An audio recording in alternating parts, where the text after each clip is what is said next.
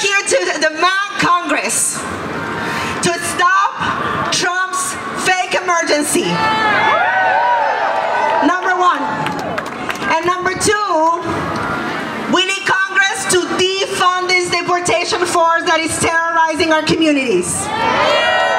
Are you all done with that? On Friday, he announced a national emergency to get more money for the deportation force and to build a wall.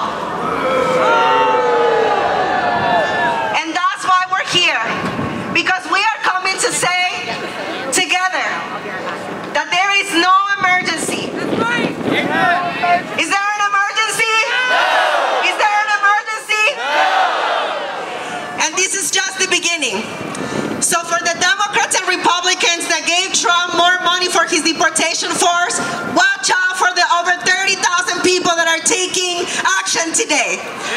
Because we'll see you in the streets and we'll hold you accountable.